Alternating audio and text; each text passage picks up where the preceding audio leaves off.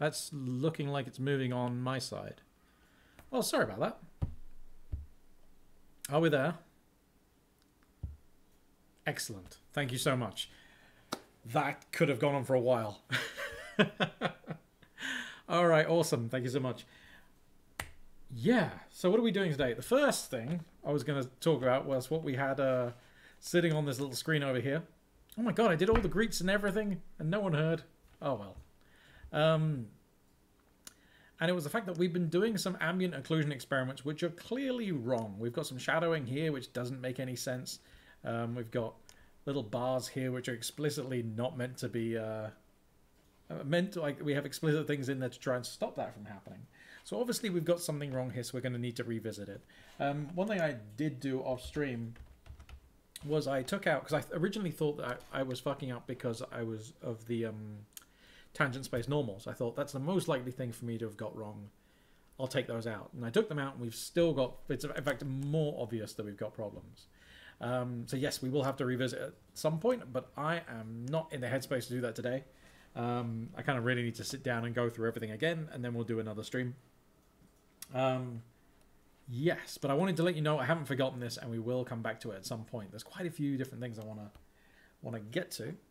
Um, other updates. Other updates. What have we been doing? We have. Um, I've been doing a little work on the compiler, so I, wanted to show you something there because it's just cool. Uh, so I go to tables and core and compile, we've got a little test here. So what we're going to do is we're going to compile a query. Um, these are the columns that will be going into this query. So assume this is a table with columns A, B, and C. And each of the columns is, has an 8-bit integer uh, for each row. And these are all marked as in and out, so you can read from them and you can write to them. Um, there are no uniforms being passed in this time. Uniforms will be the same as we have in, um, in GLSL. And then here we're doing some random math, just whatever kind of operations just to test they work. And then we are um, writing out. So this is kind of like a named version of values. Um, so it should be reasonably familiar. Here we're saying we're writing Y to the column A, we're writing Z to column B, we're writing A to column, column C. And one of the things I was doing recently, I think I mentioned on stream already, um, oops, I'm in the wrong place. Well, that's actually okay. Let's do that and go to compile. If I run test, I'm just going to make this not a presentation and put some lines the opposite of that. Put some lines here so we can see what's going on. Cool. Um, so what it's done is taken this query and it's split it into three subqueries. And the reason is that it can it can work out that each of these outputs, A, B, and C, being written out, are actually independent of each other. They don't use any of the same intermediate values on the way through. Um, to show what would uh, show a case where that would be a would happen, let's have a look. So if we take B and we use X, so A is based on Y, which is X plus one. X is up here. Let's just use X in here. So if I do this and compile, now you can see there are only um, two subqueries because these are kind of intertwined in some way. They rely on the same value. So this is splitting the uh, query into separate things. And the reason we're going to do this is each of these columns is going to be a separate array, essentially. It's going to be unmanaged memory, but it's a, essentially an array. And um, we're going to be running all these things in parallel. So we're going to be kicking these off to different cores, well, different threads, so different cores and all that kind of stuff. And uh, hey, a plump pimp. And so, um, yes, we, we don't want to duplicate work. Also, we're going to have to make sure that we're not um, writing to something someone else is reading from. And so it makes some guarantees to to make for that to be okay. Oh yeah, so the reason like splitting this thing up makes sense in the first place is that then we're pulling in less data. Um, so we are using our cache better and things like this. So, you didn't miss much because I spent the first couple of minutes talking to myself because I didn't have the microphone on.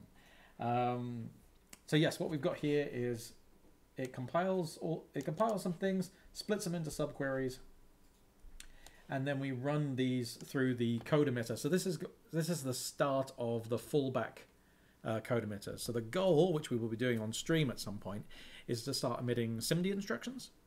but I'm still kind of building up all the stuff towards that. And this is just to start implementing the code generator that will um, just use CFFI. And um, yeah, that's uh, that's what I'm working on right now. Um, there's a slightly weird things you can see here. This is something I've been messing around with.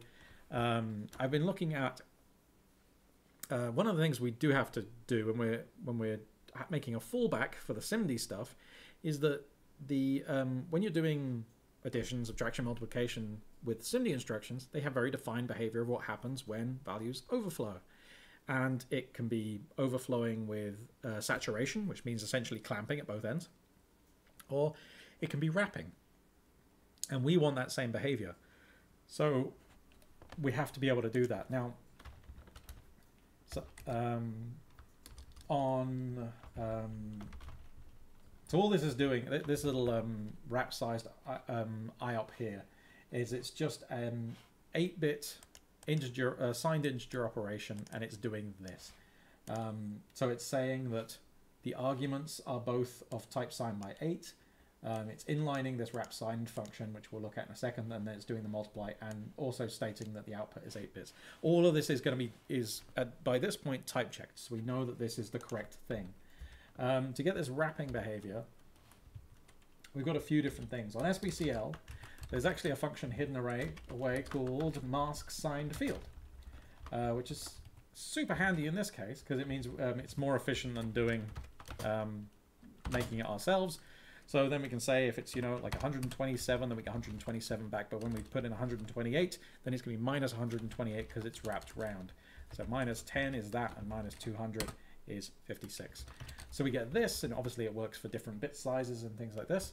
The equivalent for unsigned would be something like um, LDB, which is load byte, and then we're loading 8 bits, an 8-bit byte from position 0. And you can see again that's um, that's 56. 10 is 10, 127 is 112. This is, oh yeah, yeah, sorry. This is different, isn't it? Because we're doing with unsigned now. So if we do 255, we're fine. 256, we wrap around, back around to zero. Um, oh, cool. Memory Haram. I'm glad the video has been helpful, man. Um, and that is actually what we're going to be talking about today, more of the little bits of Lisp videos. Um, Median, the green screen when the loop stops is really good. Yeah, right. It, it really paid off. I've pushed that into Nineveh now, so that is that is done. I also tweaked it so it only happens when it's when you leave by um, the stack unwinding, essentially. Um, if you just call stop or anything like that, it's fine. It won't do the black screen thing. So um, so yes. So we've actually got a few things. I've been doing testing to see what performance is like on different platforms. Um, so sorry, not different platforms, different implementations. Very, very early tests. I haven't done much yet. But yeah, this turns out to be the, like obviously this is the fastest way to do it is just using what SBCL gives us. Um, for other ones, I'm having to do, actually the fastest way to do the wrapping here is to do um, the mod implementation. So if I just, um, what shall I do? Let me just compile these versions. And if we look at wrap signs, so slime, uh, disassemble symbol. Boop. That is a really fucking long version. That's very bizarre. Okay, so that is not... Oh yeah, because... Okay, let, let's do it a slightly different way. We'll do disassemble. Oh, I've actually got this left here. This is perfect. Um, let's jump into the right package too. In... I wasn't planning on talking about this, but now I am. So that's cool. Um, Feel free to shut me up if this is not interesting to you, but let's have a look. So wrap signed, 8-bit, um, and 100. Well, we're going to pass in x, so let's just do that. x is is a signed byte 8, and we're going to optimize for speed. Y is never used. Yeah, we don't need Y. There we go. And you can see that even though we're doing um, mod, which is essentially an integer divide, um, SBCL is able to see what's going on and changes it to kind of masks and shifts and things like this. It's not perfect, but it's not bad. Um, it does the job. Um, this is competitive with this, but this is still noticeably faster over enough iterations. Um, yeah, it gets it gets a bit fiddly. So the um, what's interesting, I think I've got an old version here. One second.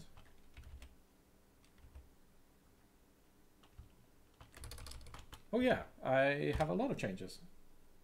Let me get those down here. Um, in fact, I'm going to do this. Tables. Yes, so the CCL version is rather different. Um, it does not optimize that mod case well at all. Um, and what ended up being the fastest one is this case here where we it's really interesting. So oh, this is actually really handy, and I didn't know this. I'll probably do a little bits of Lisp video on this, but normally if we want to write, if we want to print out, sorry, the bits of a number. So let's say, um, yeah, let's say 20, right? We do this. So that tilde b is saying we're printing out in kind of binary representation. Great, right? But if we do minus 20, it does minus the same bits. And that's, uh, it seems a bit weird because that's not the bit re uh, representation of the machine in two's, in two's complement. Um, the reason we do like it like this, of course, is because in Lisp we have infinite precision, like we have infinite, infinite oh, do you call it infinite precision integers? We have infinite size integers, that's for sure. And so, like um, in the two's complement notation, um, you have that that um, most significant bit is going to be one, and then it's one all the way back. So, like because these numbers can be any size, you can't just have one infinitely off in the distance. So we use minus. I'm explaining that very poorly. I've got to do a better job when I do the little bits of Lisp video, which is why those videos take so long to make compared to how long they actually are. But one thing you can do is we can look at L LDB again. If I do byte 80, let's look at what the documentation says. It says it extracts and returns the byte of um, integer specified by byte spec. Um, it returns an integer, which is the bits uh, with weights, blah, blah, blah, blah. Let's have a look. There's something very important here. Um, oh, does it not mention it? It doesn't mention the two's complement thing, actually. That's really interesting.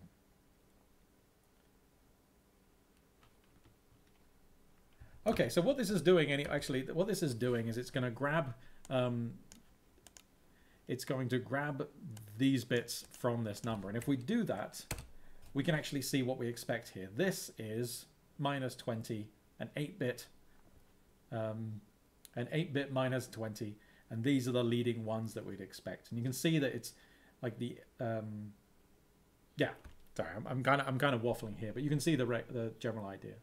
Um, so this is super handy, and I just didn't know that before. And so then if you wanted to take the 16-bit minus 20, it's like this, and so on. Um, but yes, of course, that means once you've got it, once you take the LDB, it's actually going to be positive. Um, so yes, you have to do some work to get it back again. And this is what ends up ends up happening here. We're having to do a bunch of shifting around and stuff like this to try and get it um, to grab the appropriate bits and then get it back into the negative representation. It's a bit of a hoo-ha, uh, but we use deposit. Um, we de use deposit byte and put the leading bit back in, which then makes it negative. and it's big num is what you call them. Yes, um, yeah. I, I, we just call them integers, don't we? I think. I think the like the or is actually big num the type? That would be really interesting. Actually, I don't know that. Um, let's have a look. Glossary. B. Okay, so we don't specify them as big nums. I think it's just that basically integers and ratio have that kind of infinite precision.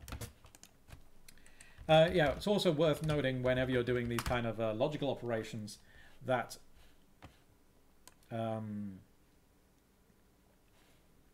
yes, on their arguments that are treated as if they were binary. Um, negative integers are treated as if they were in two's complement notation. Now, obviously, for most of the machines you're on, they are in two's complement no notation. Well, I mean, yeah, it could be represented by an object. You don't know. So there's all kinds of things going on there, uh, but it's just worth knowing that. Right. So yes, I've been basically I've been doing a lot of dickering around with. Um, oh, what the fuck? With uh, yeah, sized integers and their wrapping and things like this and trying to find out what goes quick. Well, quick enough for our needs, because we need a fallback that's not complete garbage. Um, So yes, that is where our compiler is. I've got to keep doing work on this. So the next step is um, I need to emit the correct code for output, um, which is just going to be setf. Um, we've also got to pass in, so we're passing in um, pointers A and C. So these are source. You can kind of think of this as source A and source C. We're also going to have to pass in the pointers for destination um, A and destination C. And the reason those might be different is because when we run these queries, the way I want it to work is that it's treated like a transaction and everything that's reading sees the tables that they're reading from as they were at the beginning of the transaction. But of course, all of this, there's a lot of mutation going on and it's going on concurrently. So you don't know when those values are going to change. So there's an implicit double buffering that goes on. When it's reading from one buffer, it's writing into another buffer. And then we point pointer swap to like apply those changes to the table. Um, what that means is that yes, the destination might be different from the source. Of course, if there's nothing else reading from the column that you're trying to write to, there's no need to do this, and we can just have A and destination A be the same pointer, and we go from there. Um, so yes, lots of details to work out, and I'm gonna gonna work out the kind of the main loop that churns all over all this stuff, and the job system, and a few other bits, and then we should be able to do some stuff. I'm thinking it's a couple of months away. I expect maybe three months, um, depending on how life goes in the next in that period of time. Oh, it's super busy at the moment, guys. It's really cool. So anyway, that's the compiler update. Um, I've been waffling on for a while. We want to get on to the actual business of the day, which is, um, yeah, making some tutorials. I, I want to do. I, I've had this in my head for ages, and it's really getting to me at the moment, especially with all my lovely Patreons. Kind of when the month comes around and that that uh, those donations come in, which I'm super grateful for. Thank you so much. Um, it really reminds me I need to make more videos. And one of the series I wanted to do for a while is on CFFI. And we did that big two-hour video, but it was kind of yeah, it, it, it was a bit all over the place, and it was focusing on um, working with a foreign library, which is primarily what this is for. But I really want to do some videos approaching this like um, we approach kind of teaching other parts of um, Lisp in general, which is kind of from simpler principles. So I want to start um, actually right down here um, with allocating foreign memory. So I want us to talk about that kind of stuff. So this is really just brainstorming and working out what we're going to do. Um, thank you everyone for the links referenced as Big Num here in the CL cookbook. Good stuff. Let's have a look. Yes. Oh, okay.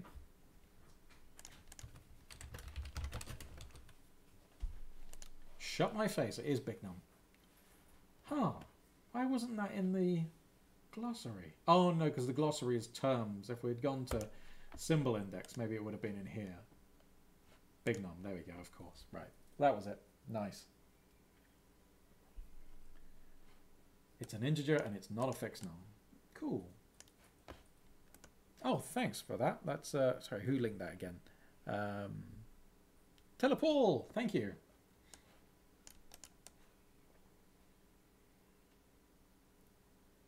Yes. Yeah, any size integer. Really cool. And the fact that we've got proper ratios as well. So nice. Right. Anywho, what shall we do? Um, yeah, let's just bring ourselves up. Let's let's make a little project. That's what we're going to do. Um, slime set default directory. Just make sure it's in the right place. I'm going to put it in Lisp. We're going to quick load, quick project. We're gonna quick project, make project, and we are gonna make CFFI notes, and we're going to quick load CFFI notes, and we're gonna go there. So let's go to there now. And I'm going to say depends on, oops, CFFI And I like calling this file base to start with because I don't like having two files with the same damn name other than the extension. when I'm starting out because it just slows me down. Cool. Um, let us get to that then. See if we find notes. All right, so the first thing, how are we going to approach this? Um, I suppose we could like try and work out like the kind of flow. So the, the place I'm very adamant about starting is I want to talk about um, allocating memory. I want to talk about what foreign memory is. Um, yep. And I want to talk about it in terms, like, I, I, really want to divorce this from the language we're interfacing with. It's obviously C, and the manual talks about C all the time. I think you can also interface with D with it. But um, that's not really the bit that's interesting. I actually, when I first started using CFFI, I knew very little C. I'd done kind of like Hello Worlds and exercises and stuff like this, like your basic calculator and all that crap, but I knew essentially no C. So CFFI my first experience with that was trying to use it in conjunction with um, CL OpenGL. I was like, okay, right, I knew what pointers were, but I just wanted to, yeah, start doing things with this. Um, so I don't think that knowing C is like mandatory uh, for starting this. So we want to talk about what foreign memory is. I, we definitely want to need to talk about the fact it's um, unmanaged.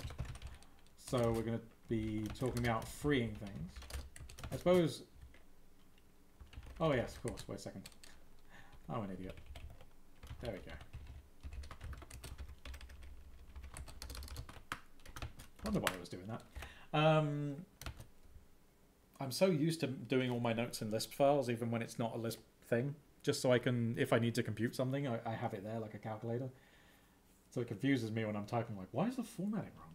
So yeah, I managed freeing. I suppose in a way we can talk slightly sideways about Lisp. Um, and the GC, just to really say that it's there. Um,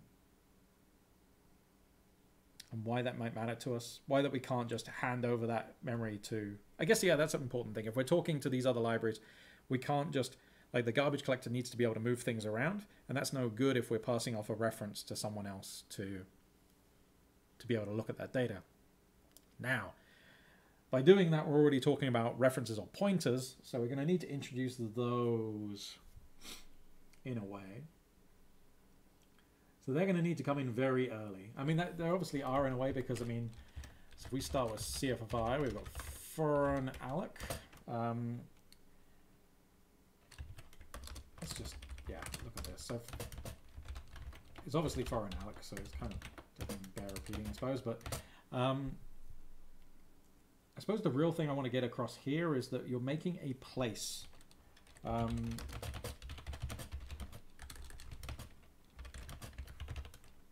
to put data, I suppose.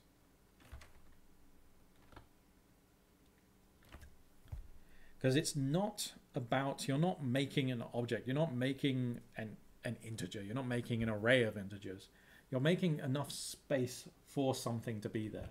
Um, you're asking the operating system, hey, give me this region where I can put things. Um, we do specify a type, but we do so to tell it how much space we need. So if we say um, int 8 and then count 15 is enough space to store 15 of these.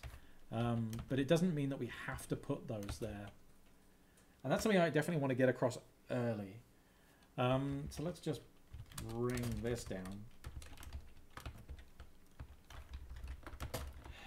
So this mandates us to start talking about types as well very soon.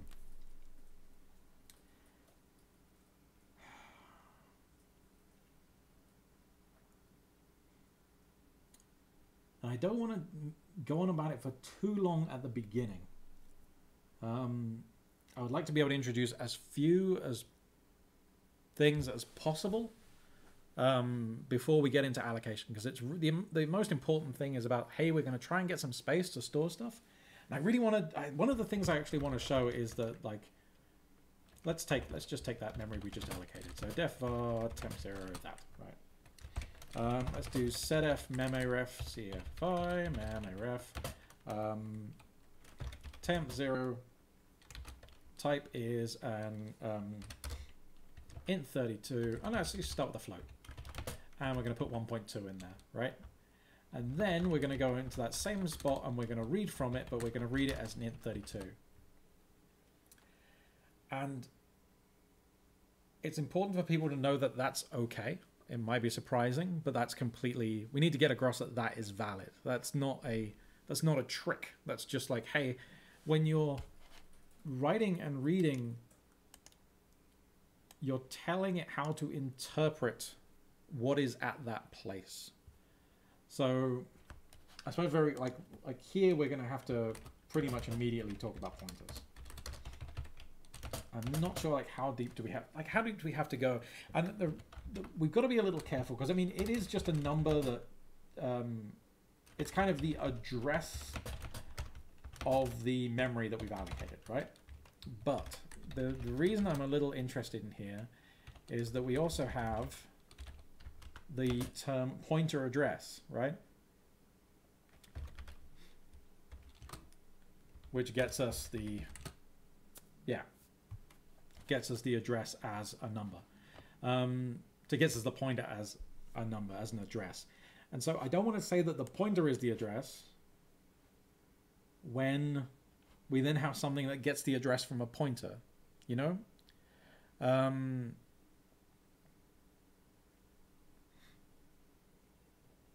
Zuluino is saying, pro tip to anyone because it tripped me up before. Generally, you should favor mem-aref over memref. Memref takes an offset, uh, but that offset is in bytes, which is pretty much always useless. Yeah, that's it's really interesting. So we'll have to. Um... Yes, that actually fits in pretty well. So we want to get as fast as possible to this point where we're allocating some memory and we're getting the the the pointer so it's it's it's uh, yeah. So don't want to use the term address um, as overloaded with pointer address, and that's just going to confuse people because we won't be able to go into details on nomenclature. Um, Let's do the dumb thing and just look at what a pointer is according to Wikipedia. I, I want to know what their thing is. Is an object that stores the... oh, here we go. Perfect. Actually, this is this is what we need. So this is just a weakness in my own knowledge, really. It's funny, isn't it, how you uh, can be super familiar of working with things, but your brain stored it in a completely non-linguistic way. It's one of those evidences of like, yes, just because you can't say a thing doesn't mean you don't feel it or understand it. Um,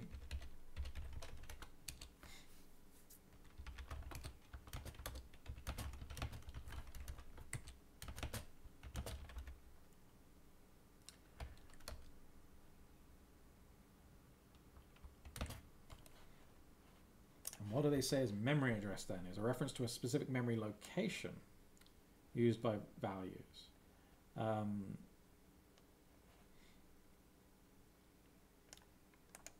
Okay.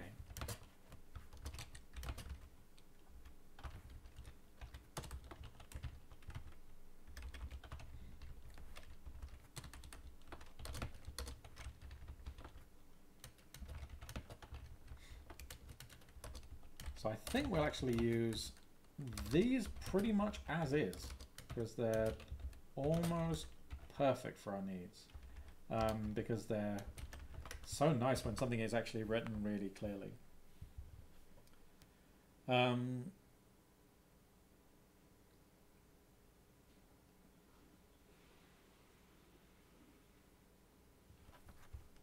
I'm not going to put another here, and the reason I'm not going to do another is it makes it, it draws extra attention to, like it makes you, like when, when you have another or something, you're trying to think of it as opposed to like what if this is another what was the former you know? And even though it's kind of obvious that it's a pointer is is an object and therefore exists somewhere as well um, yeah we don't we don't kind of want to get into that right now and so we can loosen this up just a little to help people understand at the expense of a tiny bit of accuracy. Um, I'm saying, cool to see CFFI from the ground. I know you used it a lot with other projects, but getting it from scratch this is really cool. Oh, cool. That's awesome.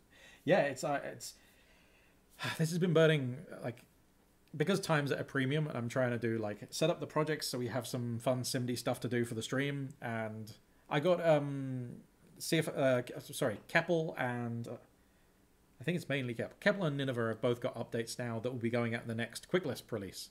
That was another thing I did the last week. Um, so yes, like uh, I, I really wanted to do more videos. Um, this is a good. I, I'm, I had a point and I can't remember where it's gone. Okay, so we want to say okay, so we're we're going to be dealing with um, dealing with foreign memory. It's unmanaged, which means it's not. Um, which means we're going to request to have a space to put things, and we're going to request for that space to be disposed when we're done with it. Um,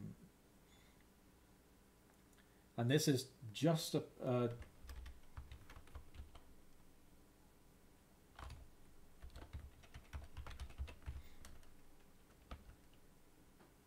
just opposed is that the word? Yeah. It's just opposed against um, the behavior we're used to coming from common lisp which we we have to treat as our default going into this. We're going to assume basic common lisp understanding and then we're just going to work from there. Um,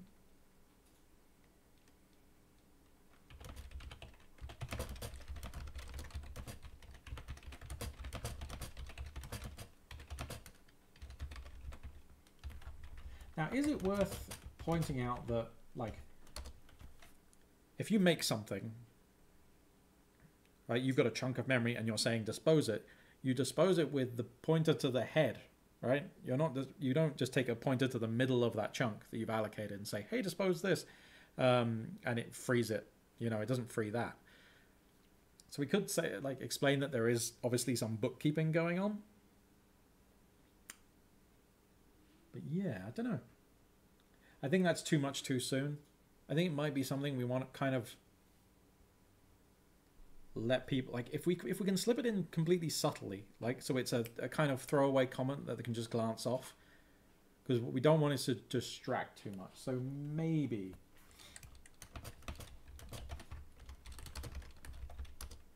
mention OS bookkeeping. It would be good to actually mention that when you're doing this, you are making a request to the OS. That's very kind of fundamental. And I, well, that's interesting actually. I assume that we're using um, malloc fairly directly. It could be that it's just being given to us like sub-allocated out of some chunk that the implementation has. I'm not sure if it has to be according to CFFI. CFFI is it's like a manual rather than a specification, I think. So, oh, that's a good point. Like, what what, what CFFI is? Um, see, I don't want to get get too top heavy though. We don't want to load too much stuff on the front before we're actually doing something in the REPL because you lose people so quickly with that. Um, but we want to say that it's a wrapper around um, functionality that already exists in um, the various implementations of CL.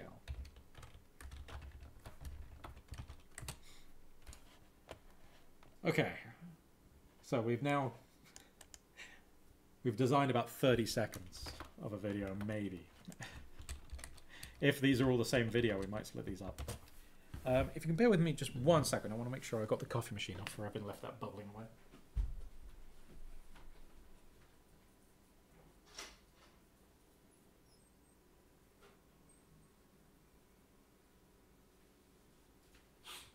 Nope, that's fine.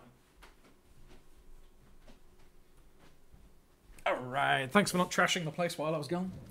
Um, Oh yeah, here's something I definitely won't be talking about anytime early in the, the tutorials. Strings. Because strings are fucking complicated types.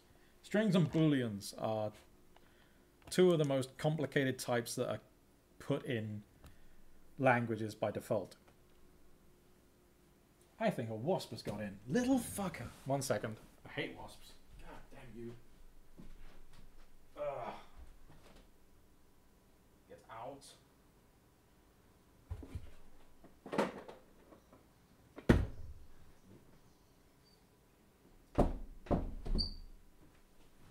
Alright. Not hello, little wasp. Fuck little wasp. I hate wasps. Love bees. Love bees. Hate wasps. Um, right, okay. Where do we get to? So yes, not strings. And um, actually, when, when we want to talk about the types that are around here,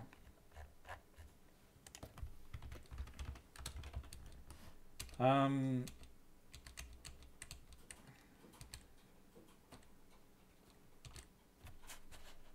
types, um, defining new types and all that kind of stuff. Let's just look for human aid. Yeah, I want to introduce these. We will we will do a video where we introduce most of these. But I definitely want to start with ones with um, very definite behavior. And by that I'm going to mean the sized ones. So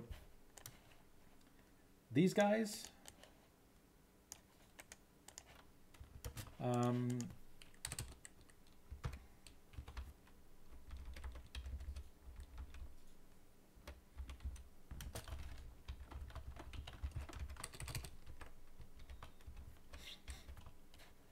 yeah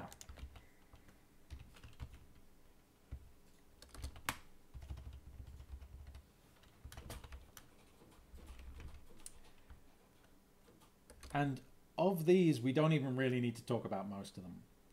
So it will be good to point out the difference between the signed and unsigned ones.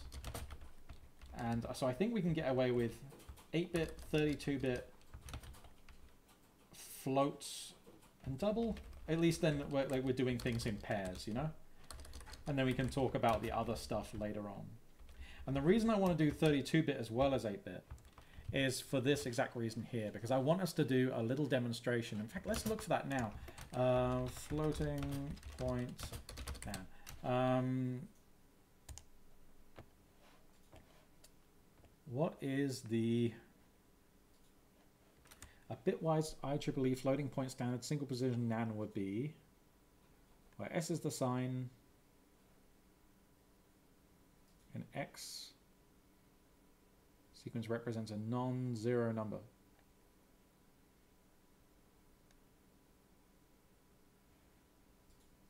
The first bit from X is used to determine the type of the NAN. So I'm kind of interested in just, let's, let's go to IEEE floating point. Let's look for NAN in here and just see if we can get an example of the NANs. So I suppose this actually covers a number of bit sizes. So I kind of want, a um, IEEE 754 32-bit NaN. Just an example of one. I'm normally so good at generating them when I write shader code. I thought I would have been able to find one now. Um,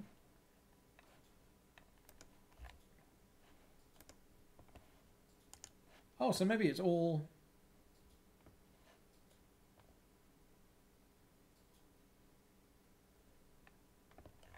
Oh, that's cool. Um,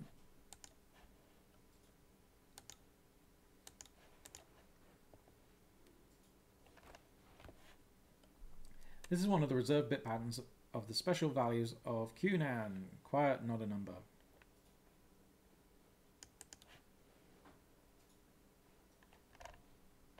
So it's just saying that all ones. Well, that's cool.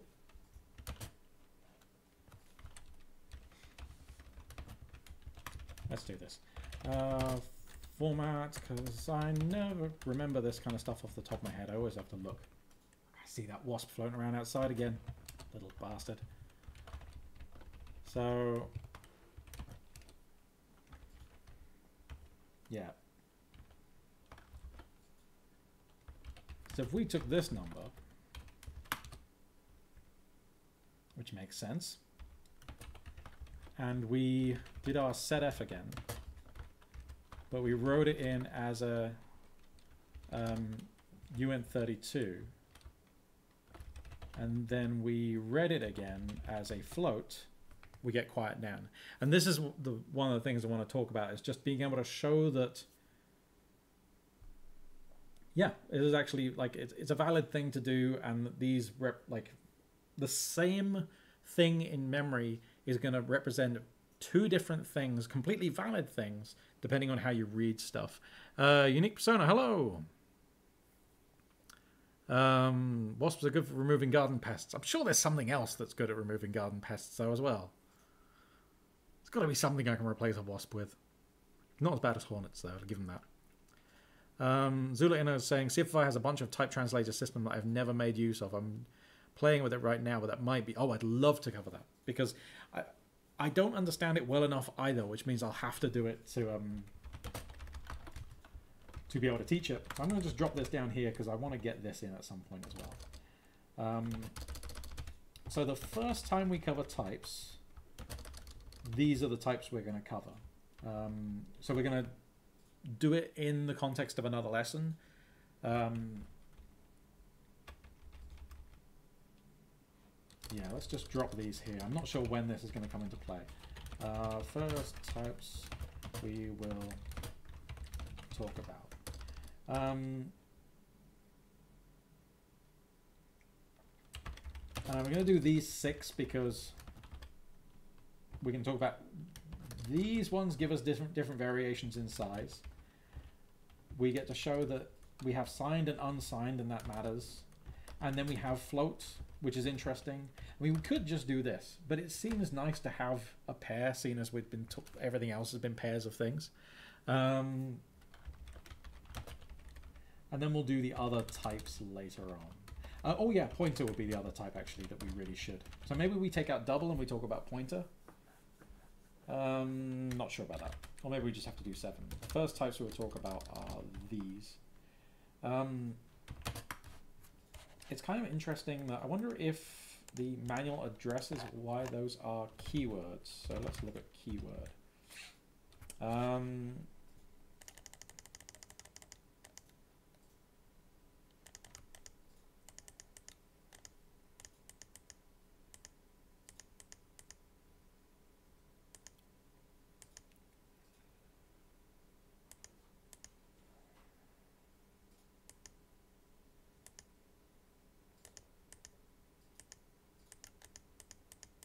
all about enums, which we'll get to another time, or later in the series. Um, default foreign encoding. Well, that's interesting. Guess for strings. Strings are way too complicated. Just so complicated. God damn it. Fuck them.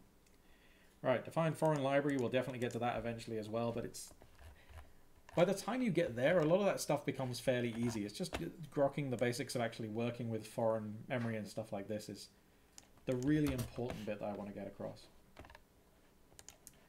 Okay, so we're allocating memory, we're making a place that we can store things. And we, we're not um, dictating what can be in there. We're saying, give me enough space that I could put 15 ints, um, 15 8-bit ints. Um, but yeah, that doesn't restrict what we can do there. We get a pointer back, and we don't need to have that warning now because we've got this. Um,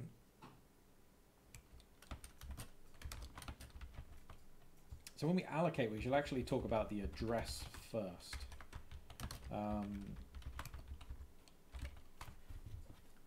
so you allocate, and that's going to have a position in memory somewhere, and we talk about where it is as its address. So it's kind of like talking about where a house is, is its street. Um, but a pointer is an object that stores a memory address of a value, and that's really cool. So at some point we'll get we'll come back to that, but th that at least, um, yeah, we can probably say that an address is a number. Um, We probably don't need to go into too much more than that. And then this pointer is a special object that stores the address, and we can do stuff with it. Unique Persona saying, I see you are doing an outline as comments in source. I came across um, this outorg thing that allows you to edit comment blocks as org. Cool. Yeah, I mean, org mode is one of those things that I've never got round to looking at. I know everyone sings about it as being the best thing, um, but yeah. I, I find so much that I just, yeah, doing block comments gets me quite far. But that is cool to know. That's really good. So, okay, so we're going to get them to that point where they can start allocating things. And then, like...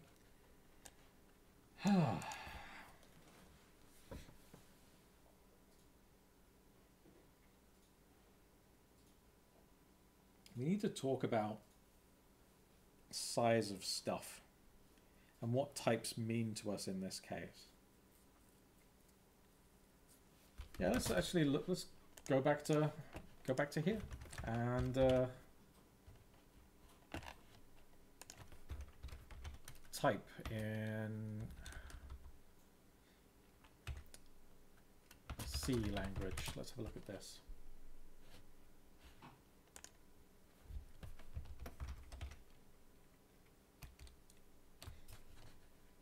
Data types. How do they talk about their types? Static and weakly typed makes it similar to blah blah blah. Um, so let's just cancel this. Yeah.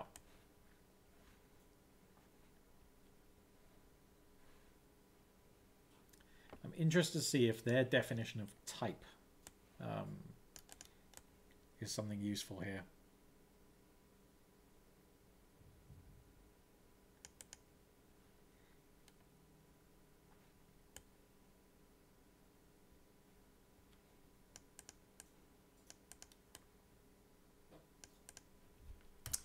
So we can't go too fundamental, but if we can do it in that, if, I really want to get it just like the different values take up different sizes. I'm trying to work out like the order of the terminology. How do I want to talk about that? So I suppose it's just saying different types. I mean, type is so familiar that we can almost say it as a kind of, I don't know, we can almost use it incorrectly. Um, but yes, and when we're reading and writing to these things, um, we specify, we're specifying the type, which is really telling it how to um, interpret the value it finds there. So when we're writing, we're saying, hey, here's this float, like um, like store that. Because that's one of the things, what I don't want to do and be confusing is do this, right? Because that's a bug. Because with the kind of terminology I'm using, it, it would be easy to say, oh, so he's saying this is basically how the thing. Um, could that be mistaken? I'm wonder, I'm worried if, if we say this wrong, it gives the impression that this is the interpretation of the memory, and then we're just passing in any value and it kind of handles it. So we can just say that this is how it's like how you're interpreting the value in question. So the value in question when you're setting is the one that's being passed, that's being written, um, and then when you're getting, it's the the bits in memory, uh, that value there. How to interpret those bits when you're reading. So, but that makes it sound very detached from um, type in the normal case, I suppose. Let's look at type system. To, so a data type, here we go. Or simply type is an attribute of data which tells the compiler or interpreter how the program intends to use the data.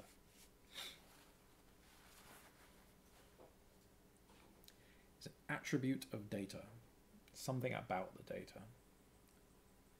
Data type constrains the values that an expression Yes. So we're talking about its representation as much as anything else.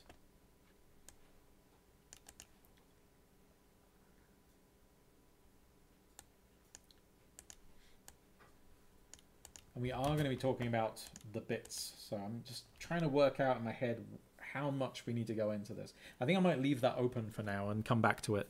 Um,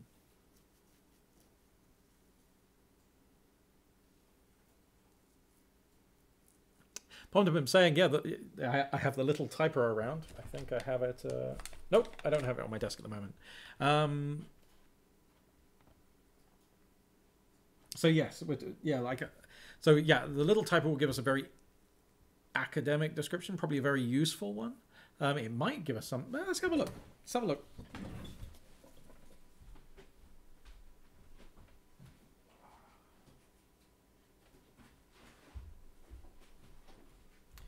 But we also don't want to get too academic, right? Like we don't want to we don't want to confuse anyone. We don't want to distract anyone from the actual business that we're here for. But it's seen as we're making the tutorial, it's on us to uh, yeah, to do our best to get things across well. Um, wow. Let's see, is there actually a definition here?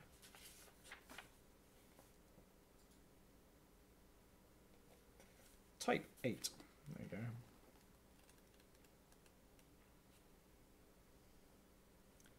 Atom is a type.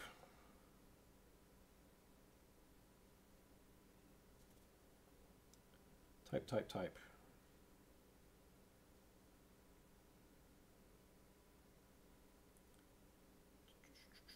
Doesn't say what a type is though. It's actually quite cool because it's kind kind of to constructively like build up some information here. Um,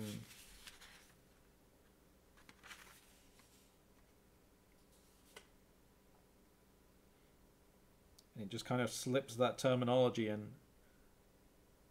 Okay, so I don't want to dig into that too long, but yeah, so that Yeah, we all know the idea. We don't know how to express it. It's like there's expressing it precisely, and then there's expressing it well for the situation. And this is why these videos take fucking ages, because um, I get really anal about this stuff.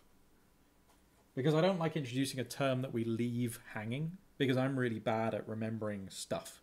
So I, I kind of like to get a piece of information and hook it somewhere, right? So it stays there, and then the new information I can relate to those things. If I'm holding on to loads of stuff, I struggle really quickly. Um, yeah. So, what is, um, seeing as we're dealing with Common Lisp, what does it say a type is?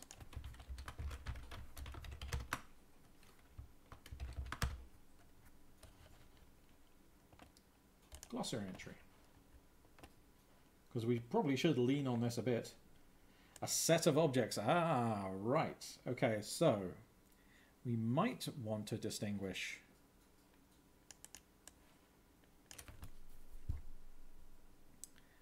Yes, in common uh, it is a set of objects.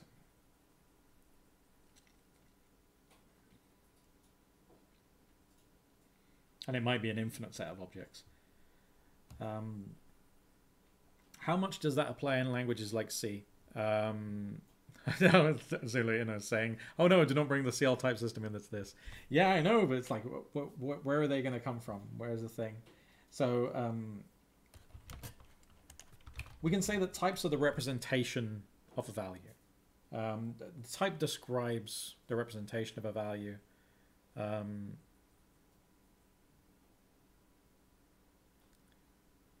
ooh, yeah, it's, it's kind of tricky because we've got representation and also the set of possible values. Is one implicit from the other? Um,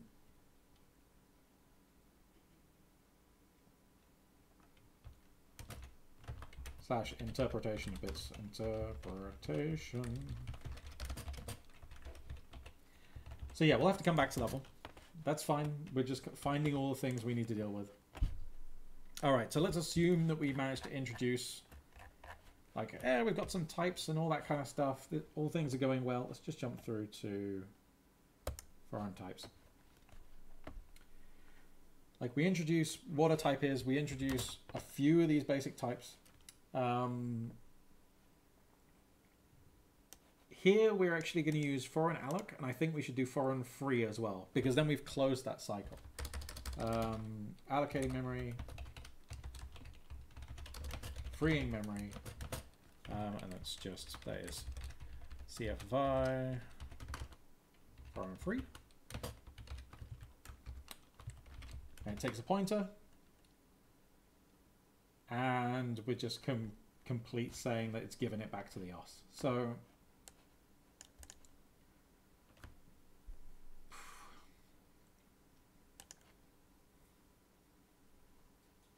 making a place, so asking the OS for a place to put the data. We don't make space. The space is there. We're asking for it. We're saying, hey, you, please can we have some enough for this? Um, we use this little diversion to talk about things being places, and then we jump straight back to pointers, which are the things we're actually interested in. And then when we do this, we get to see a pointer. Um, we talk about freeing, and really that to me feels like a video right there. That is probably, that's at least five minutes. Um, it, like taking your time and getting through everything. That's probably a five minute video. Um, that might be quite fast actually, it might be a seven minute video. Um,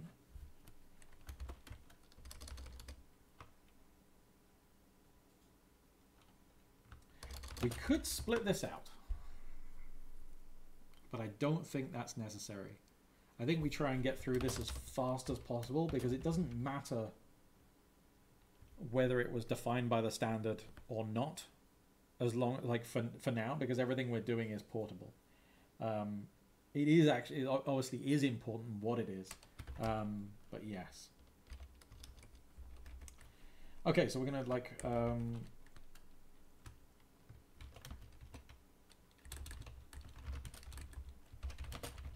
our first few types. Um, we're gonna look at these. We're going to come up with a, a, an explanation that is satisfactory. Um, we are going to um, revisit. Um, I think, ooh, it's kind of annoying, isn't it? Because an int 8 is might not be something people have heard of, but if you say byte, or do, do they not have byte? They don't have byte. Well, shut my face. Okay. You can't have byte. Never mind. Yeah, so that works. So, so we'll do uint8. Um, there's not another alloc, is there?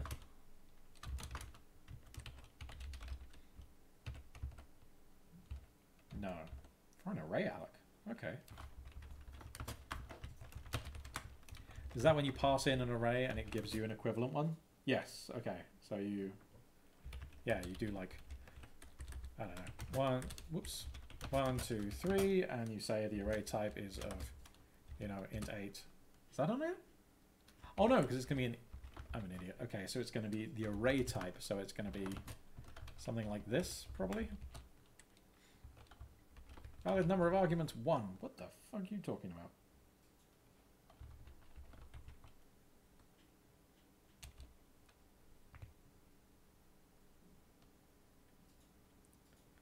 That's interesting. Wow, that's a really bad error.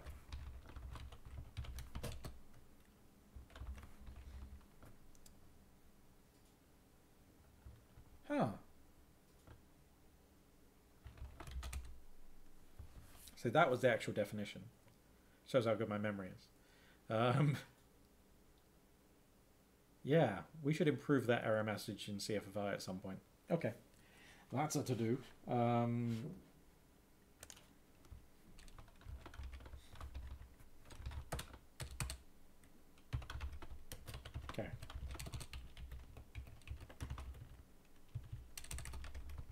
Mask. here's a confusing error. Should probably report that. Cool. Or just fix it we'll make a pull request. Um, cool, that's good. So we're going to introduce some types. Um, now, what's a nice way of looking at some of this stuff? Suppose we don't worry about that too much. Let's just get into the point where we're, we're allocating some memory again. Um,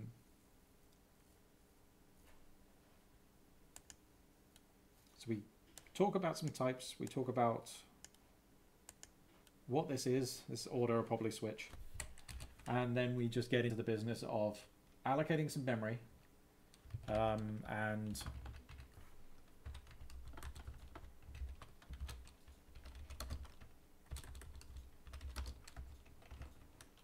uint 32 and count is 10. Um, and then, yeah, actually just setting, so setting a value. Setting a value and reading a value.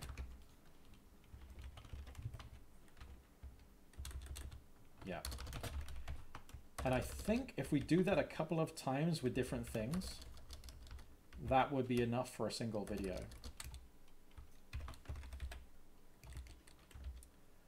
Um, sorry, I'm going to jump back into chat now. I've got a little distracted there. Um, my favorite type is satisfies eval. Holy shit! I hadn't even thought of that. Is that is that legit? Oh man.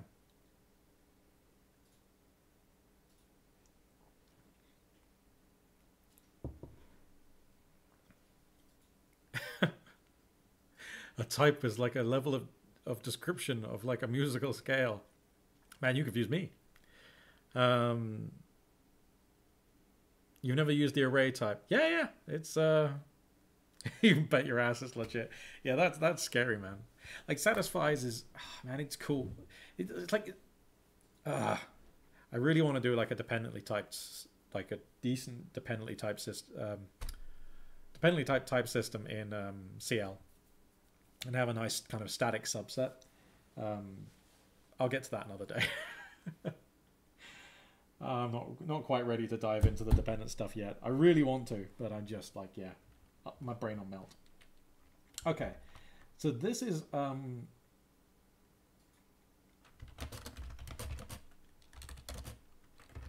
so a note on types, and what we're going to do here is we're going to do this example here, and we're going to do it a, a few different ways, I think.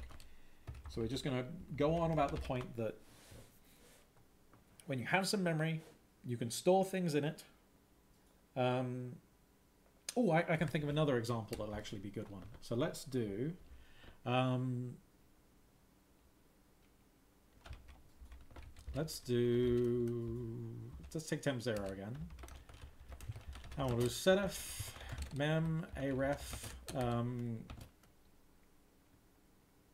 oh yeah, see if I uh, temp, and we're going to do a uint eight and we're going to put 10 there and we're going to do this at index 0. And then we'll also do write it 20 into index 1. And then we'll show that we can get those back. Right? But then we can also show that this is legal right?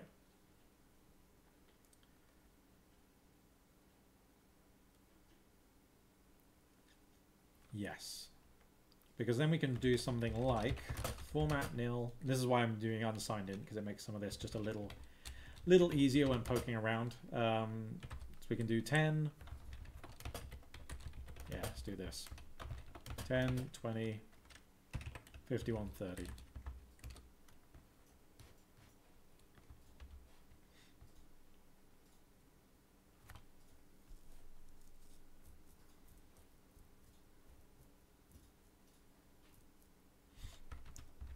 So then it's being able to see that we have our yeah. Right?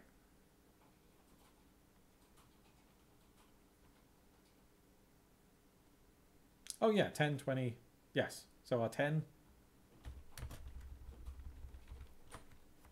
That's right, yeah. Our 10 and our 20. And then 5130 is those bits. So yeah, I suppose it's just worth pointing that stuff out. Um, I should probably have done that in a different order. So if we did 5130 first, and then we did 20, and then we did 10, I think that would have been easier to match up what was going on.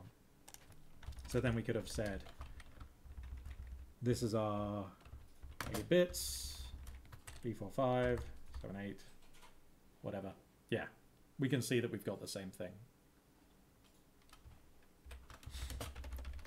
I think that'll be a nice kind of example to go along with this, so it'll be an episode on representation.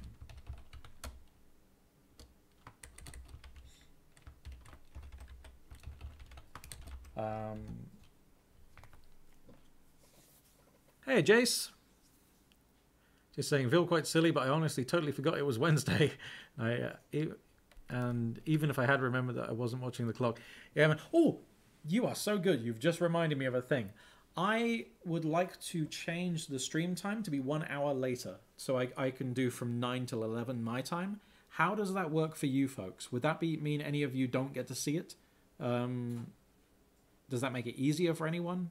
Yeah, um, I'd love to, I'd love to hear your opinions on that. Please shout up, even if you're just a lurker, because I really care about whether you get to see it or not. Um, but yeah, it would actually. Uh, Pomnipim saying one hour better is way better for me. Better doesn't affect me at all. Doesn't affect me at all. Should be okay.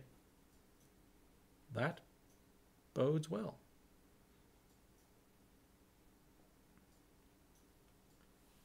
Um, that's great.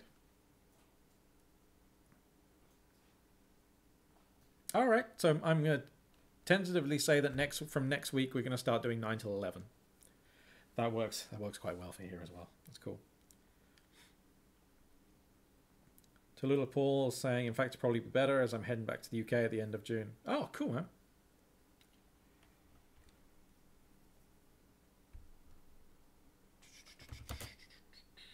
Right. So, what I think we'll do now, seeing as we're on the, we, we've kind of gone allocate some stuff, um,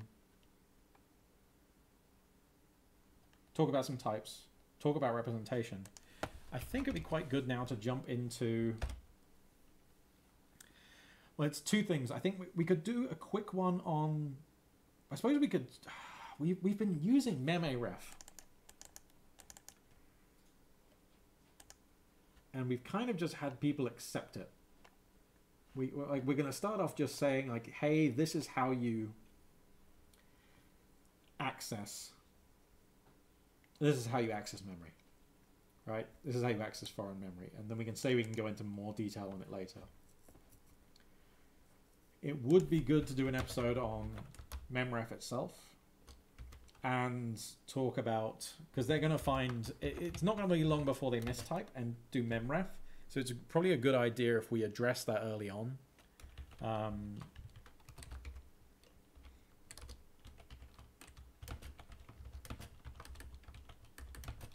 yeah like you say like it it's not normally something you need but it's um yeah it's good to have around i suppose And then with that, we've got quite a few bits. Is there any other, see if there's not any other kind of mem a pointer. Ooh.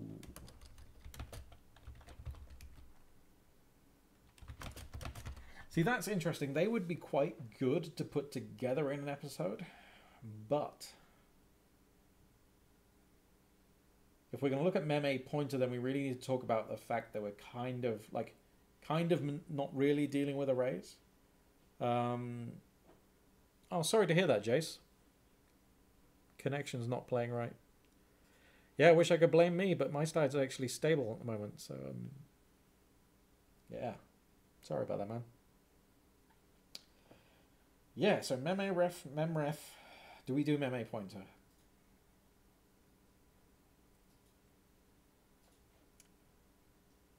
Or do we even need to mention arrays right now? We probably don't.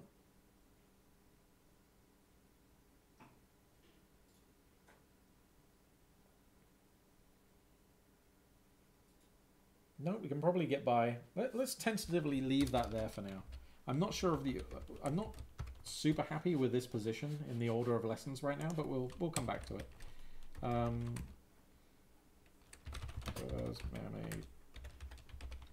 pointer mean we need to talk about arrays. Okay, so with that done, what I would actually like to do is talking about um, locally allocating stuff. So CFFI with foreign object. Um, right, so then we get, we're saying like temp is, you know, our uint 8, our 10 uint 8s, whatever. Print temp, and we have our pointer, and then we'll do some things with that. And we're going to need to give a really big warning Warning! Um, that the like do not hold on to this pointer. And I, I got reminded uh, about that lesson just the other day because it turned out that um, in CEPL we had a case where that was being done and it was temporarily okay um, in in SBCL but in CCL, when a pointer goes out of scope, they actually tag it as as like a garbage pointer. So that when I was trying to access it again, it was causing a problem. But it's funny because all the tests I had for this were passing just fine with SBCL. And um, that makes sense for SBCL just to use a fucking regular pointer. I mean, it's as little fluff around it as possible. Um, but yeah, that was that was an interesting catch, and it it was just a um, I had a what did I have? I had a pointer to yeah, it was it was just um yeah, I just I just had a, a pointer to an object and then gone out of scope. Um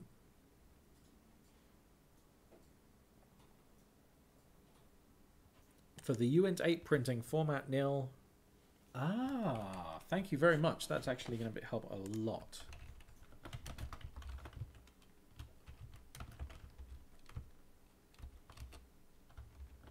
Right, so then if we go back to our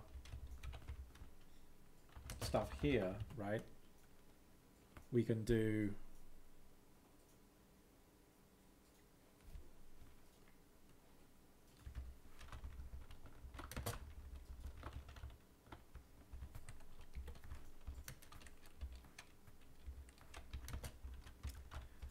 this is tricky. What's the least confusing way of doing it?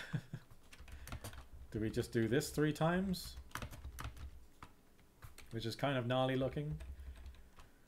Or do we do this, which is, well, not much better in that case.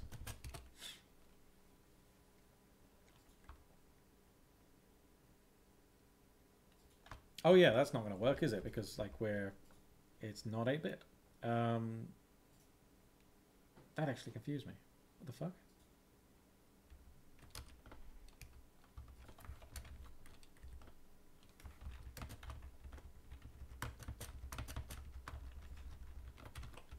Sixteen bit, eight bit, eight bit, five one three zero, twenty ten. But then at least we should be able to go, hey, we can see that this is this.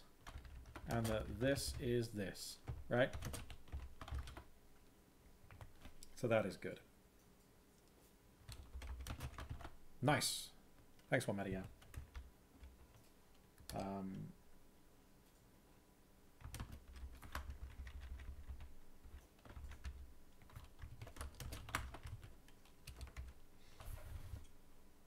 Cool. Ah, the old IT wisdom saves me again. Um, so yeah, I can't even keep audio only going. Wow. Definitely something screwy going on. Try, try restarting the app, and if that doesn't work. Oh, so it's actually okay now. Uh, it looks ugly in format string, but the result is good. yeah, thanks for catching my silly 8-bit mistake as well. Um, but yes, this um, that would be cool. We could even do. Oops. If we did this, which makes it look uglier, then it's kind of fun because we can do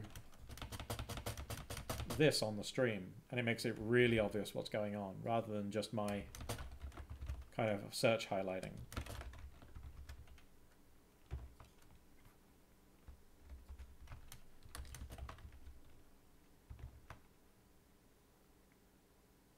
Wait, what the fuck?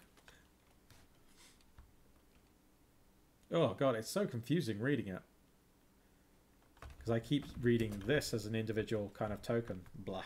I don't know.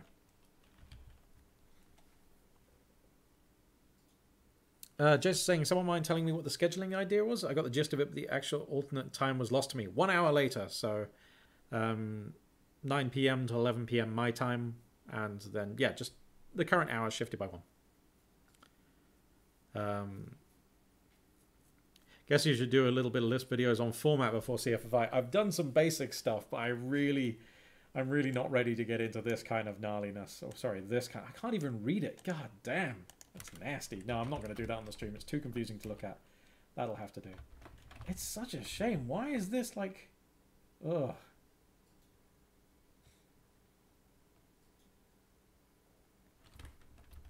Wait a second. We could do... Um... No, that doesn't give you 16 bits though. Fucking hell.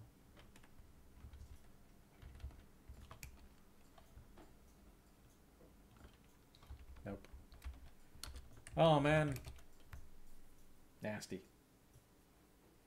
Anyway, we'll go with this. This is fine. So yeah, we want to talk about um, with foreign objects. So then it's um, it's obviously very natural to do. Really? Fine. If we're doing this, then we should also do with foreign objects. So this is kind of the uh, let starry kind of a. Oh well, yeah, it's, it's just like a proper let. So foo and bar. And it's a float. So we allocated one float, room for one float, and room for 10 uint 8. Um, and then we can do foo. Don't, I never understand why that happens. Um, bar.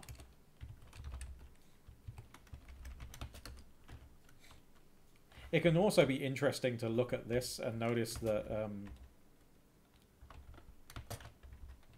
these numbers are like the difference between this and this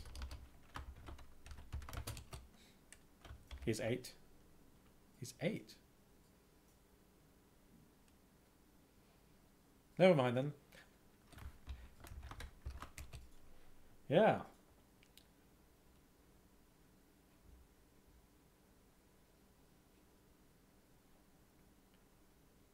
What am I not seeing there?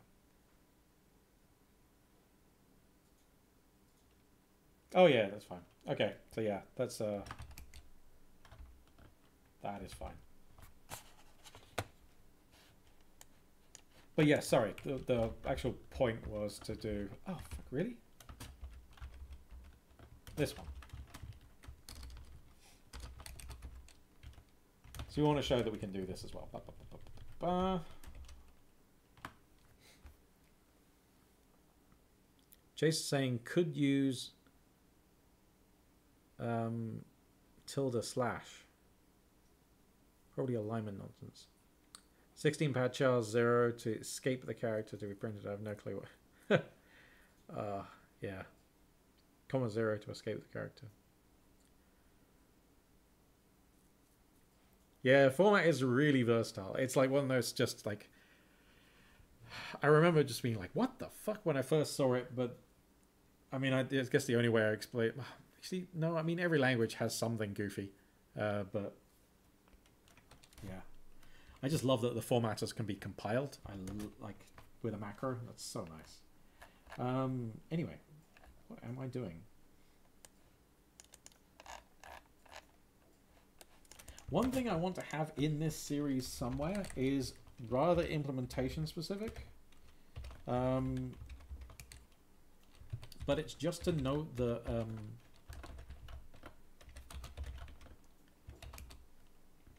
when these macro expand, they're going to get reduced to something very specific. Like like the when the implementation knows the type at compile time, it can often optimize into something like yeah, that's exactly what you were after. Um, so yeah, like a mem-aref turns into a mem-ref uh, with the actual number of bytes, and then that turns into something else. It's funny that that turns into an unsigned short at that point. I guess they're the same size. Um, that's actually one point. When we do get around to doing this stuff, where would these... I, I guess these lengths are... Okay, these types correspond to the native C integer types according to the ABI of the Lisp's implementation's host system. Yes. Okay. So you don't actually like this. These sizes are not going to be stable across all platforms whereas these ones will be. Um, but most of the time, the software that you're interacting with is going to be um, using these, so these are obviously very important. But still, yeah.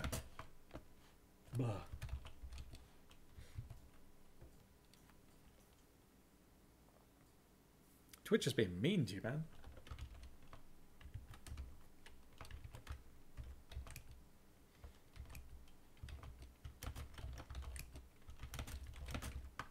I have no idea how to explain this in a sensible way.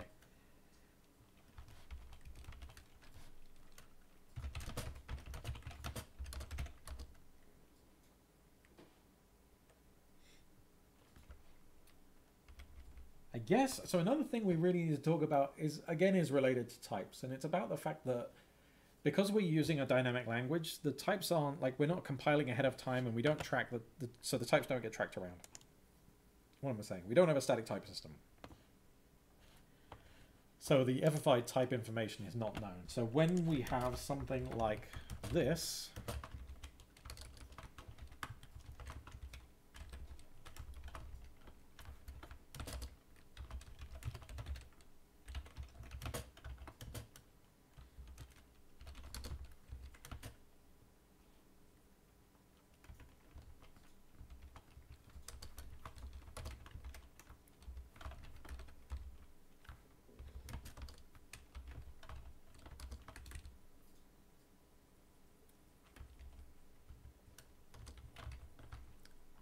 what do I want to do here?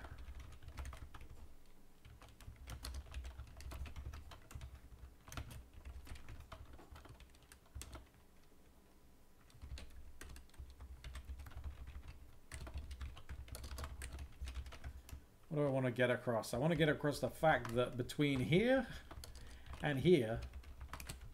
Oh, fuck you.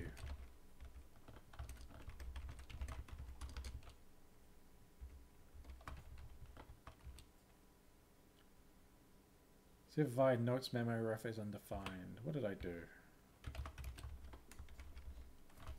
Oh yeah, because all these need to be CFFI. Right, so the point is that between here and here we didn't remember the type. Between here and here we didn't remember the type. We're in a dynamic... Yeah,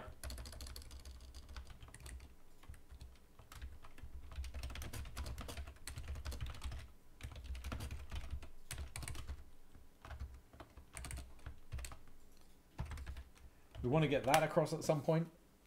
Um, so that's a video in it, kind of in itself, just talking about that thing. Um,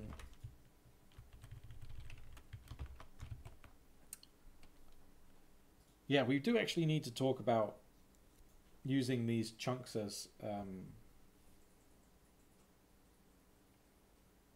as arrays. You know, um, let's have a look.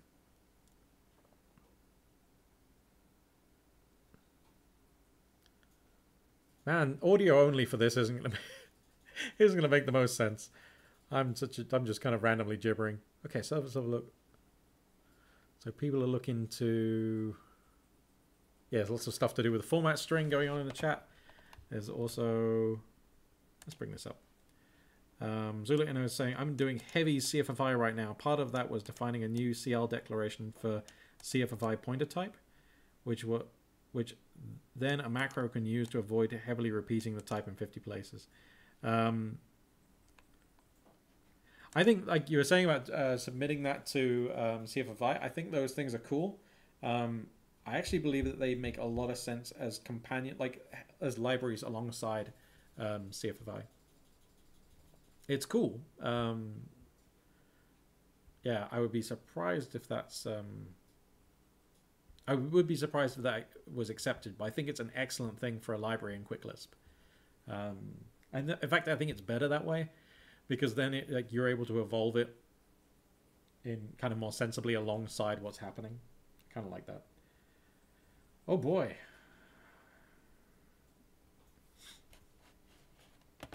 Oh, this is a big article on how format works. Oh, good grief, look at all this.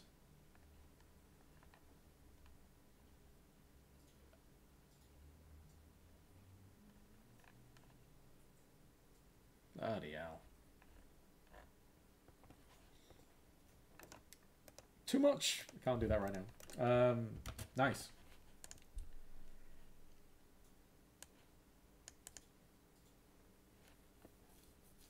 Yeah, I think Zuluina. There's also um, C Star, isn't it called? It was something that was shipped along with um, Autowrap, and they they have a. Oh no, but that's completely separate. They're using their own system there. Yeah, Autowrap and what's the one that Borodust maintains now? That's awesome, but yeah, but separate from CFFI in itself. I can't remember. Claw. Claw, that was it. Zulu says, I know Autowrap has CLET, but it's not exactly that. Oh, interesting. Cool. Maybe we can convince baggers to use, to use, to use impatient mode in Emacs. What's impatient mode? Patient Emacs.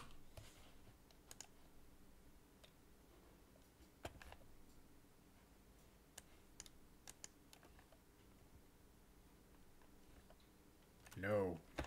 I see HTML, I'm already unhappy.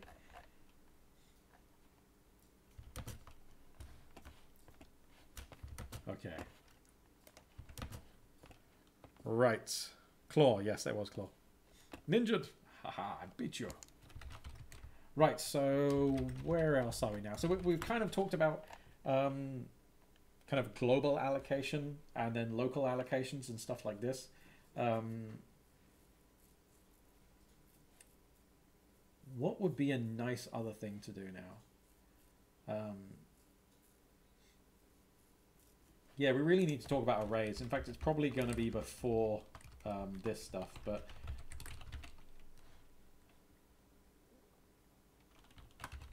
Foreign arrays.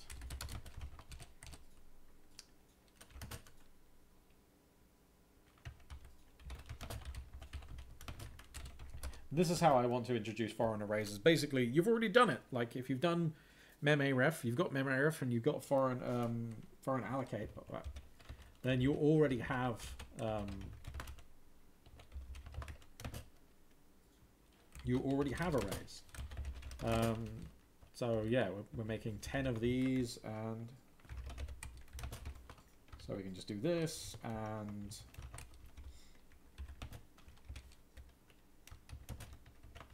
Let's just do this over here. Mem a ref. Oh.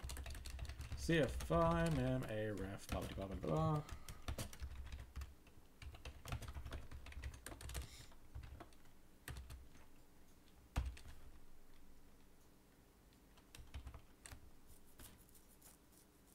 And then we just need to explain that in uh, in in CFFI, um, arrays are what's the correct term for that again?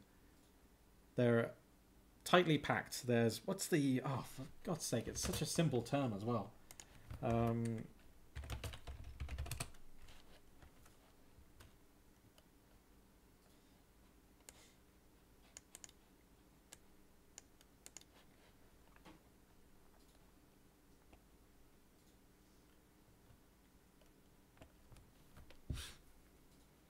occupation mode sa- saves an Emacs buffer in real time over HTTP. Would allow us to see and copy paste the text directly. Oh, funny. Cool. Contiguous. Thank you. Contiguous.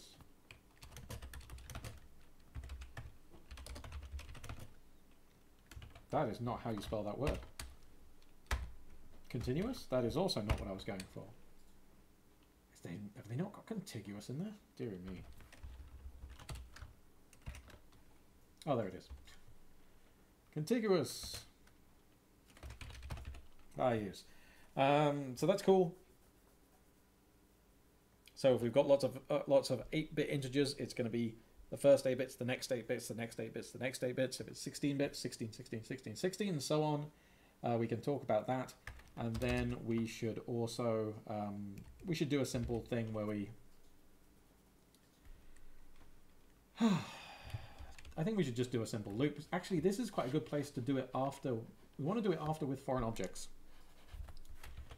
Because then we get to do this. We get to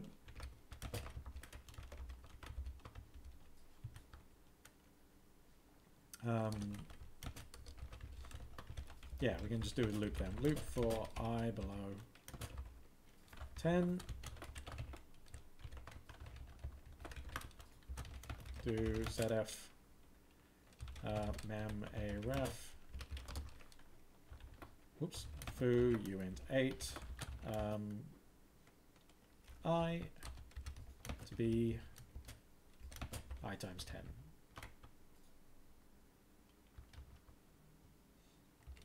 Oops.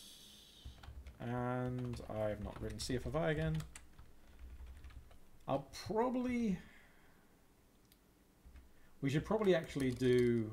We should probably make sure that um, on each video on the code section, because we normally have like code and REPL in all of those videos. Um, so we just have to go make sure um,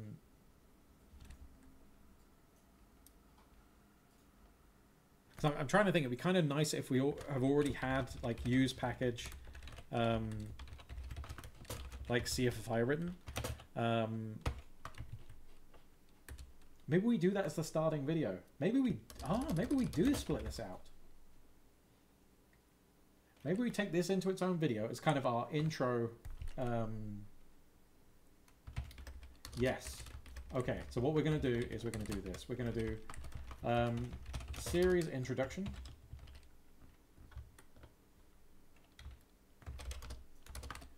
We're going to do a big old welcome. We're going to do one line of what CFFI is. We're going to um, say that we're going to be working on a project and we'll show the package.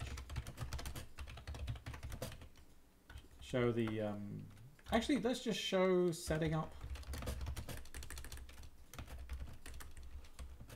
the um, project. So yeah,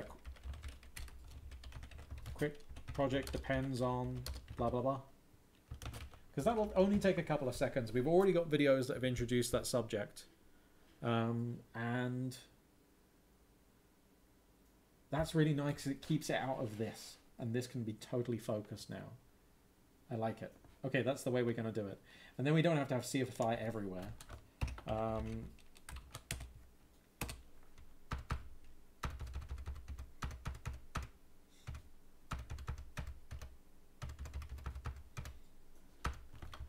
right. Um, so that's good. See what's going on. There's some chatter here about different things. Um, Floobits can. Oh yeah, so Floobits is a pair programming thingy for syncing up a a directory or workspace live between IDEs running on different machines. Has a read-only mode in its web ID. Hey, Soding! The raid has arrived! Is it PHP? No, it is still not PHP. Um, yeah, it's a bit, of a bit of a weird video for you to come in on this one, so I'm not sure if you're, like, I mean, you're welcome to hang around.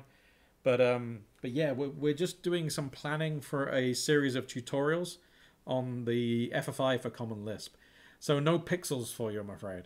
Um, yeah. So that's where we're at.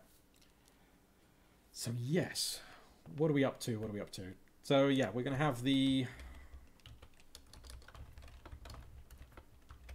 let's just do. Um, let's go and set up the package actually now. Yes, take new, that's fine. Cool, so we're going to go and run through a loop which does that kind of stuff and then we can I suppose for the first video we're doing like stuff with arrays we're just going to do this. Like we can we can go and show that we were able to write um, some stuff into memory and then read it back again and they're the values we expected and it's basically an array. Or it is an array. It's a foreign array. Um, and with that we should then pretty quickly transition over to talking about um, the helpers that we have for working with arrays um, so one of them is obviously like with foreign array. Um, so we'll want to cover that pretty quickly. So we'll call it C array. Um, C, uh, yeah, let's do CAR. Um,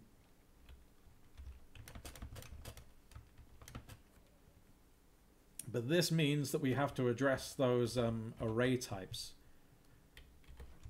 So we'd have to do array, um, and then, you know, int 32 and four of them. That's interesting, actually. Can you do um, any sized? Surely you can't do any sized array. That would be rather bizarre. So that will work, but this shouldn't work, does it? No. We kind of like it should be able to just.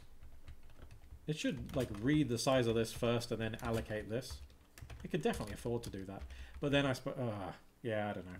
It's not ideal. Um, what's going on? Converting old code to PHP? Definitely, always. That's all I do. Um, how to, how to translate Lisp to PHP 101? Yeah, I'm doing it very slowly. I'm doing it by writing lots of Lisp and no PHP, and then hopefully just like through the power of you know logic and reason, the world will guide me to writing PHP instead of this contorted mess. So yes, so basically what we'll do now is we'll we could do a variant of this example. It's always nice when you can take an example from like um what am I trying to say from video to video and evolve it. So what would we do? So what we I suppose what we could do for this is we would do um, so yeah, let's do the first version. What we do loop for i below 4 and then collect mem ref um, c array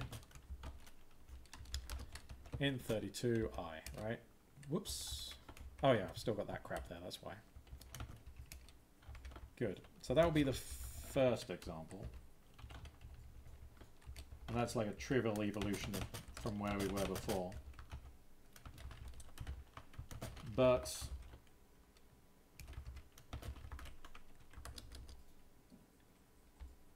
Well, that's that's just a basic example. It would be nice to take the one we had. Did I just fucking delete the one I'm... Oh, for God's sake. On. yeah, that um, we're going to introduce with foreign array. We'll do this. And then we kind of want to recreate like a version of this, which would be something like, let's just do, let's, um,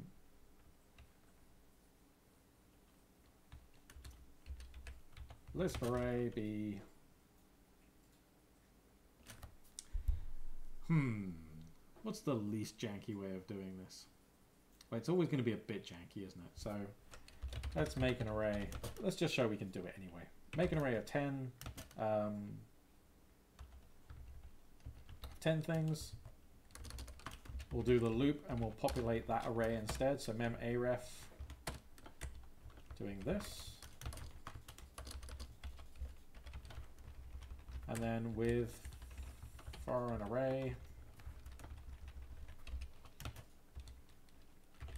C array. We'll take the Lisp array and we'll tell it the type.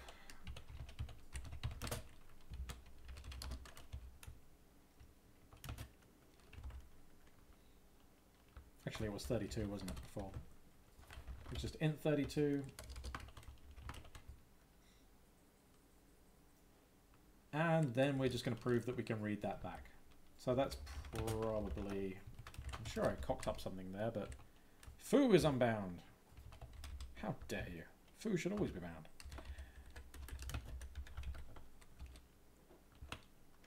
Well, Foo is still unbound. Fuck you. Foo, where is it? Down here. Yep. There we go. Well, that's wrong.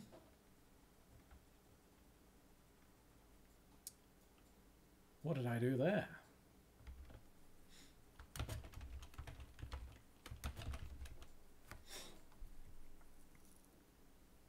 Oh yeah, I got the types wrong. That'll do it. Nice. Okay, cool. So that's the example that we're going to go with, is just converting that so that the loop, the uh, array being passed in was just coming from Lisp. Um, when we're on the subject of this, there's one I really like. Um, Median saying, generally when you do things in the REPL, maybe just clear the REPL when there's a new segment or idea, because it's nice to have a chance to really read what you've meticulously written. Oh, sorry. it's such a force habit. Like, it. You're absolutely right, and I um, I will try. I will try to do that. Um, that is just an unfortunate side effect of yeah how I'm thinking most of the time, which is like, yeah, do the thing, and then it's like just oh okay, fine, we're done with that. Get on to the next shit, and done with that. Sorry. Habits. Good for nuns, bad for Chris. Right, let's have a look. Um, what time are we at? 21.43. Jesus, we got through that fast. There's this one I really like because it's just super cool. Um, with pointer to vector data. Um, ooh, pointer. Right. this can be really nice because if you already have an array, um, okay, so I suppose we would need to distinguish, oh, do we want to do this so soon?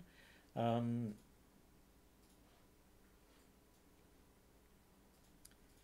let's see what the, the, manual says about it. But I really like, I use this a lot in, in CEPL um, to save copying and conversion and shit like that. Oh, it's not even documented. Really? That's like the best thing.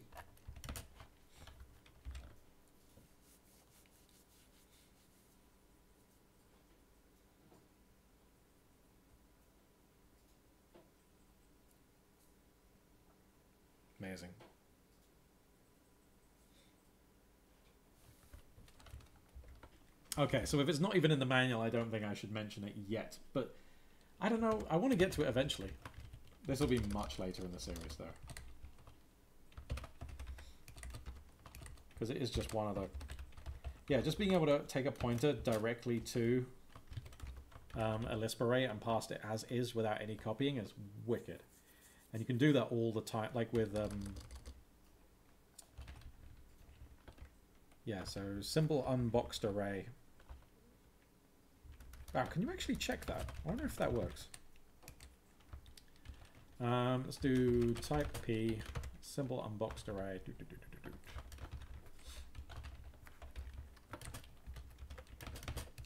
So nil.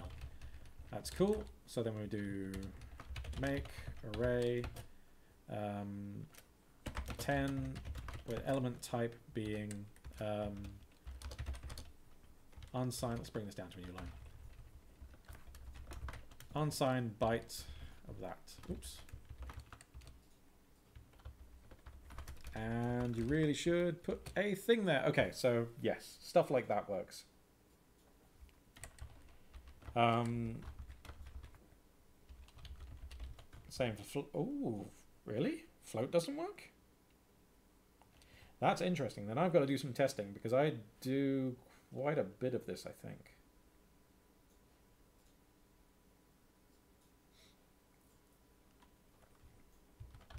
With pointer to foreign data, where do I use that? Because it is possible that it's not actually being very efficient.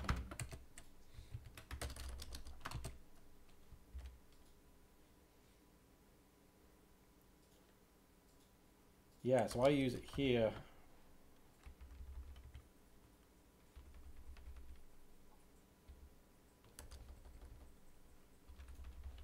So I take an IVEC2, which is not defined right now, but that is a vector of two 32-bit um, ints in Lisp, and then we take a pointer to that, and that's been working fine which is quite scary if that's not correct.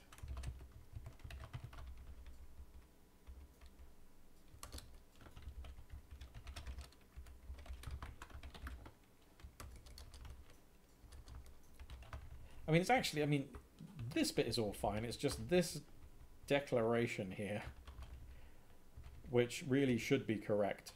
Um, so with pinned objects, oh, that's interesting. So maybe I'm slightly outside of what um, SBCL says is valid. I will have to think about that. Um, hmm. Single float. Single float. Good point. Oh, I'm an idiot as well. What the hell am I doing? So I typed float instead of float. And also, so this should have been single float anyway, which is then true. Cool. yeah, I know, Chase. What the fuck? How was that allowed? Um, that is a good question. Why was that allowed?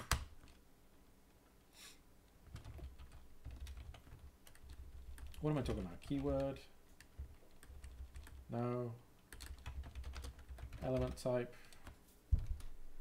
Um,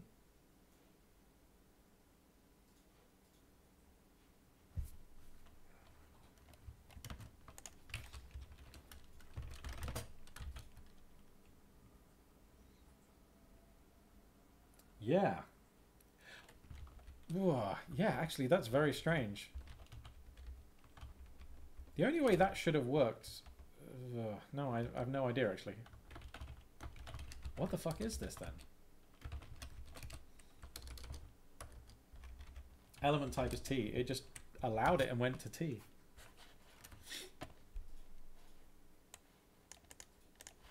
Array upgrading. Oh, I bet it's this. I bet it's a side effect of this.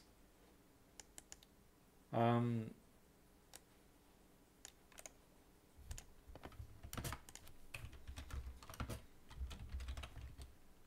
nope. That doesn't like it, so... Yeah, that's a strange one. I'm surprised that didn't error.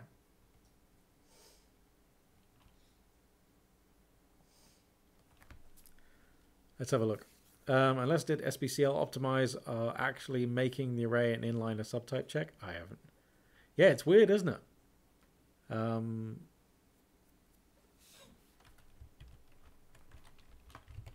yes.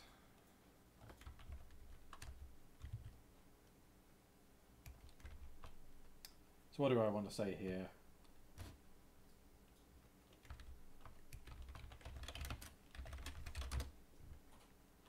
it would kind of be actually it would be nice to mention this early on because there's a certain balance between not not trying to swamp people with really complicated stuff, but also impressing on people that this stuff is, you know, good. Because it was it was messing around with CFFI that made me realize like, oh yeah, I'm I'm gonna be able to use like Common Lisp for graphics, like for real. Because there were so many places where things got optimized to something that was very respectable for a dynamic language, you know? Stuff like, yeah, stuff got reduced down really well. So I'm not sure when I'm going to introduce this. Um, but we would have to not upgrade it type.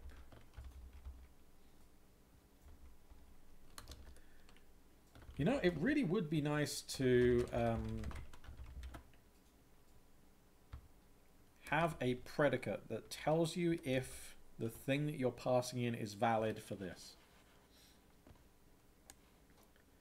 Because this, yeah, this this is definitely a, a vector that is um, can be passed here, no doubt. I wonder what the other implementations do.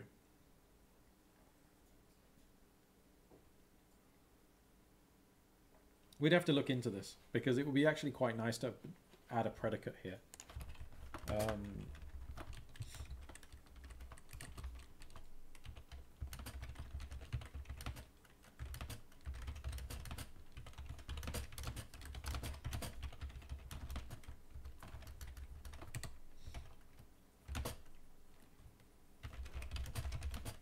work on SBCL, check the others.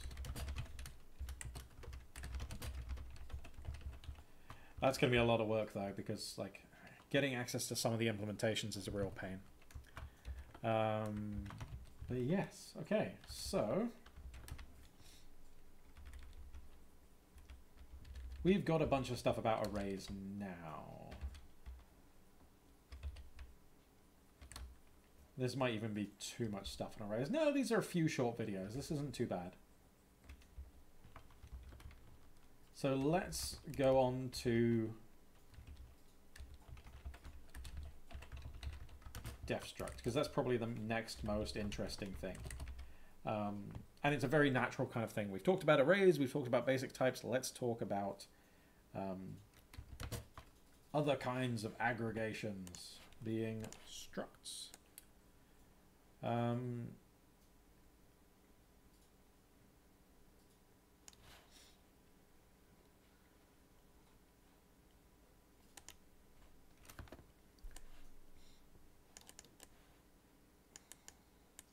See, I'm going to skip over def C type because as, as useful as it is, this is more, like I feel is more useful up front.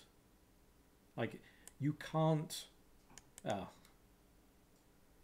yeah, there are certain things you can't make easily without using def C struct. With def C type, you could use whatever type it is that you're aliasing.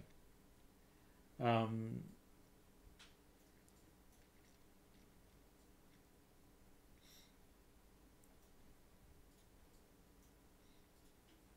Okay, so there's really not too much to say, is there? We just need to show how to use def C struct. Um, let's see if there's any interesting points in there. We're just like, we've got, yeah, we've got names and we've got types. Um,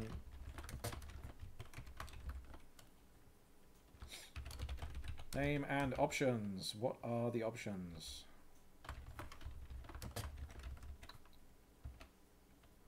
Right. Okay, so you can define conc name just like you can in in regular Lisp. Um, class, that comes later. That comes with... Uh... Okay, here we go. So by default, convert from foreign and also memref will make a plist with slot names as keys and convert to foreign will translate such a plist to the foreign structure. A user wishing to define other translations. So I, yeah, I guess should use the class argument def c struct and then define methods for translate from foreign and translate it to foreign um, that specialize on this class, possibly calling call next method to translate blah blah blah blah blah. Um,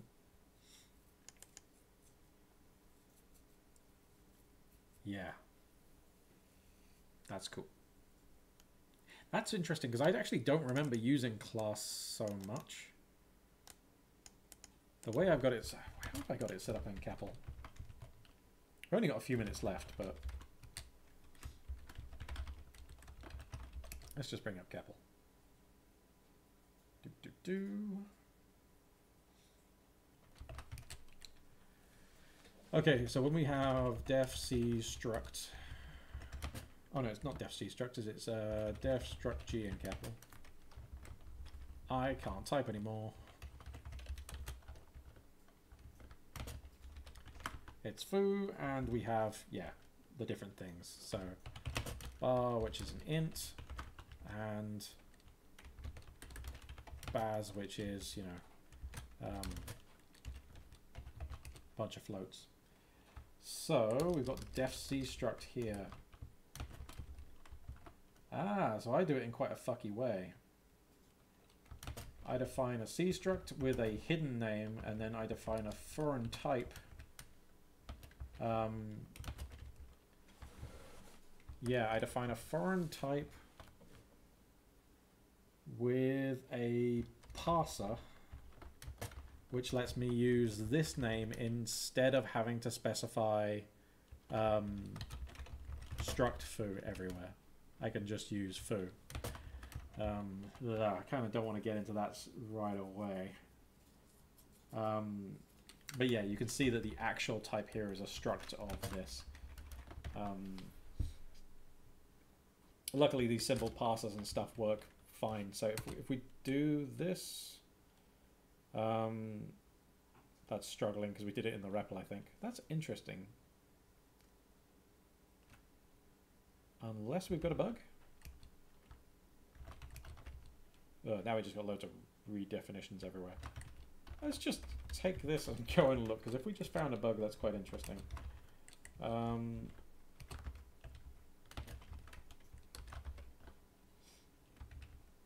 yeah, no warnings. Okay, so it was just a REPL thing.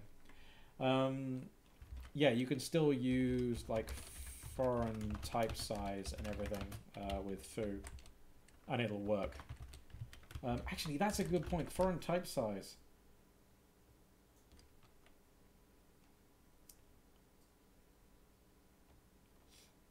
Hmm, where does that fit in? We should know about this pretty early because it really matters when we're talking about this stuff. Um, maybe we put it in this video. Or maybe we make another video just after here.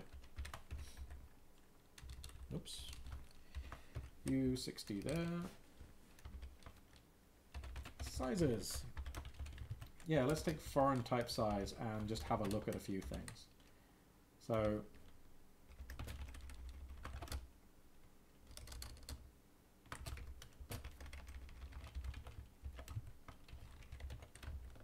Ah. There we go.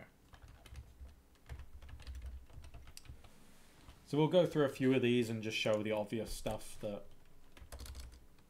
yeah, what people would expect, and the fact it's in bytes and stuff like this. That that's uh,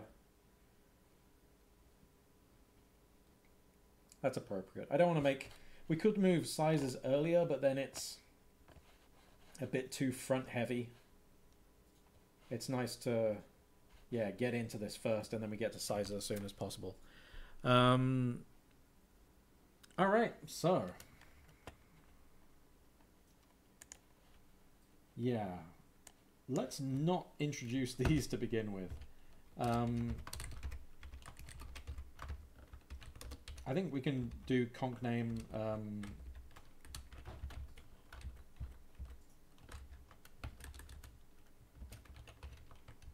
def c struct def c struct conc name.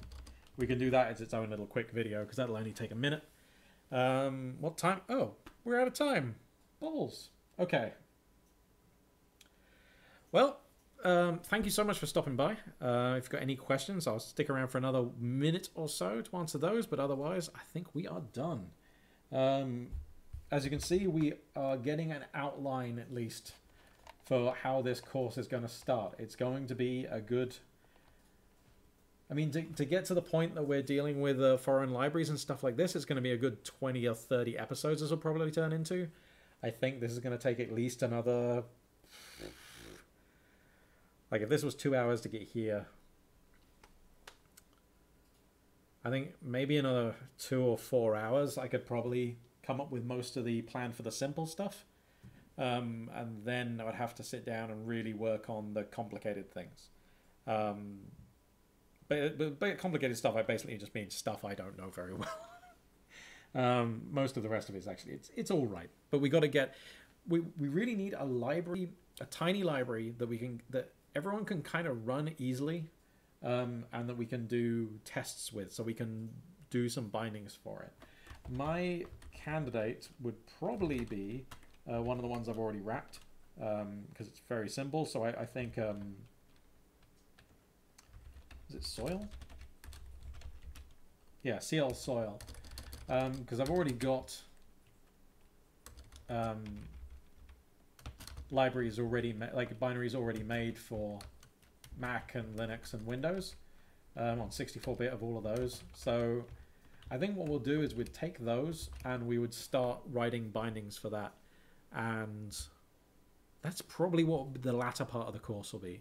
So we'll go through all the basics and then we'll take those libraries, we'll copy them into the project, and then we'll bring up the documentation um, and probably the C source as well because it's good to have that on hand. And then we can start making videos just on going through that. Um, I'm really glad you enjoyed this one, folks. This is one that I, yeah, I really wanted to work on this. It's really nice that it was it was fun to watch. And Metian, how about JPEG Turbo? Um, I mean, could do. It just, the the nice thing about SOIL is I've got the binaries. It's very simple, and the documentation is good and bad enough that we can explore some things with it. Um, and yes, as the Pimp's pointing out, remember next week we are starting one hour later, and that's how we're going to do from now on, unless I say otherwise. So from for Norway time, that's nine till eleven. All right, folks, I will stop now. Thanks so much for stopping by. I will catch you in a week. Peace.